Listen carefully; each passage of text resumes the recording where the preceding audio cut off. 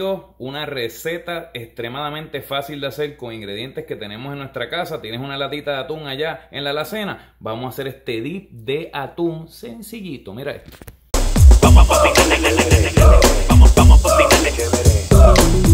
Bueno, arrancamos acá con una lata de atún ya drenada, ¿verdad? Sin la agua o sin el aceite eh, que trae el atún, ¿ok?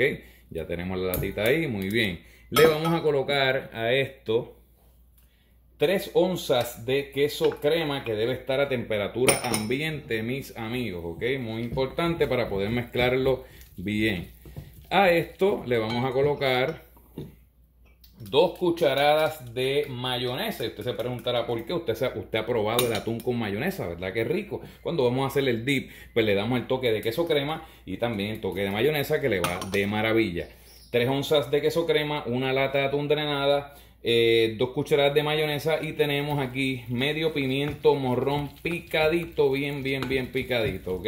A esto se le añade un toquecito de polvo de ajo para darle un toque diferente, se realza el sabor con sal, claro que sí, y se le añade también opcional, pero que le va de maravilla, como cuando hacemos el sandwichito de atún eh, cebolla lila, aproximadamente una onza. Y aquí tenemos este dip de atún que el queso crema le va de maravilla. Por supuesto, lo podrías poner también dentro de un wrap o dentro de un sandwichito, mis queridos amigos. Pero también si lo acompaña aquí, acá, sí, si lo acompaña con eh, tortillas o galletitas saladas, tienes un dip delicioso y extremadamente sencillo con ingredientes que todos tenemos en la casa, lo colocamos acá en el centro y a disfrutar de esta delicia.